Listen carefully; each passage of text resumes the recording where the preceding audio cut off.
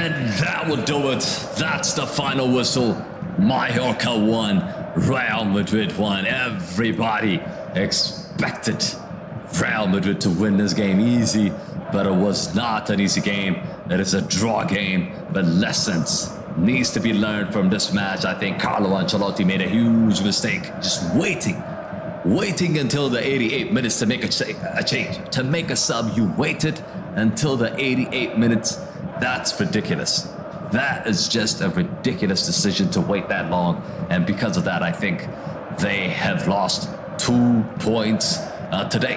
Mallorca definitely uh, deserved to get a draw out of this game. Uh, Muriqi with the goal for Mallorca. Rodrygo, of course, gave Real Madrid the lead in the first half, but it wasn't to be. It was not a convincing performance by Real Madrid. We said, we asked questions, is Kylian Mbappe gonna disrupt the team's flow? Is he gonna disrupt the leadership, the main players in this team? And there's a lot of questions that needs to be asked because today, Mbappe played as a nine. I don't think he was effective.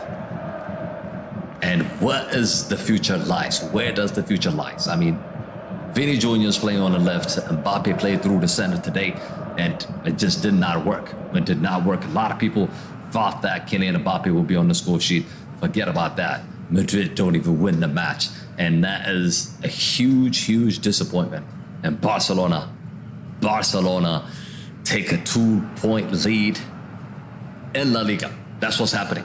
That is what's happening. Moana says, I'm even crying. Don't cry. It's just the first game, bro. We need to stay calm. But Carlo Ancelotti definitely needs to find the right formation. He needs to find the right formation because it wasn't just working today. It was not working today. The formation did not work. And Ancelotti took too long to make a change. Arda Güler needed to come on.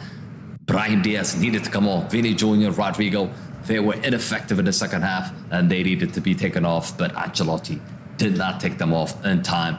And he paid for that. He paid for that mistake, bro. He paid for that mistake.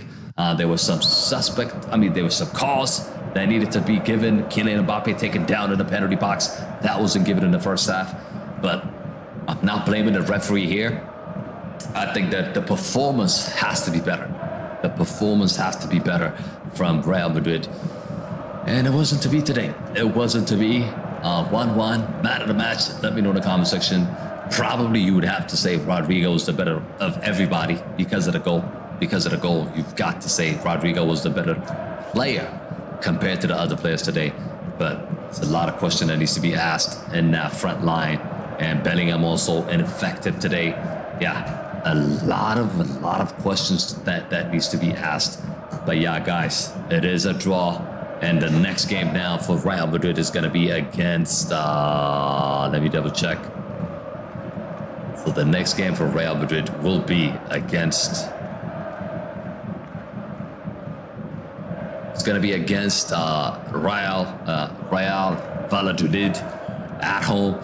So it should be a win. It should be a win. I'm excited for that one. That's going to be on Sunday as well. So make sure you join us for that one. But that is it, people. Thank you for watching good night. It's not the result we needed, but it's okay. It's okay. You know, in the end, we're gonna win La Liga. We're gonna win every single trophy there is to win, bro. Just stay calm, people. Madrid fans, stay calm. We're gonna win the league. Okay? Have a good night, people. Thank you for watching.